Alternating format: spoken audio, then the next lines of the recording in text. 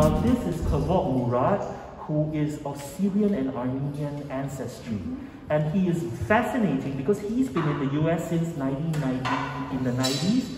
He has never shown in New York in any major presentation. I mean, the Met has gone to visit him many, many times, but you know, it's it's still stalling because the work, because his practice is very unusual. In the first sense, he is the only visual artist in Yo-Yo Ma Silk Road Ensemble.